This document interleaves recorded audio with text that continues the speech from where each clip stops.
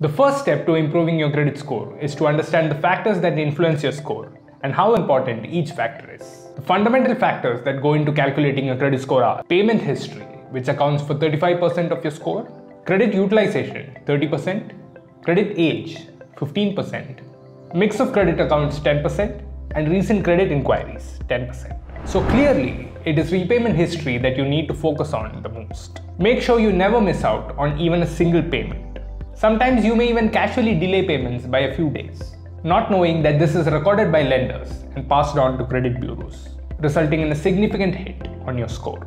Set up reminders and avoid this at any cost. The best solution would of course be to enable autopay of your EMIs and credit card bills.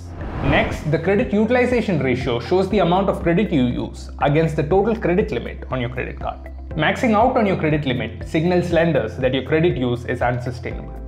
A good credit score requires the credit utilization ratio to be under at least 30%. Credit age shows how long you've been using credit, and credit mix indicates the variety of credit lines you have. Both show how experienced you are with loans.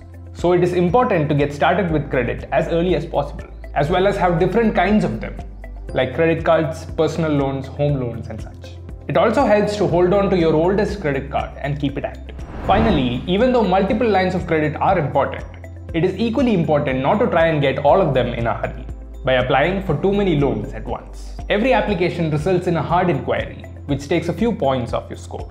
And too many applications become a red flag to lenders that you are desperate for credit, resulting in a more serious penalty. Apart from keeping an eye on each of these factors, the most important part of improving your credit score is to monitor it regularly. Not sure how to do that? Well, all you need to do is sign up at the MyMoneyKarma website.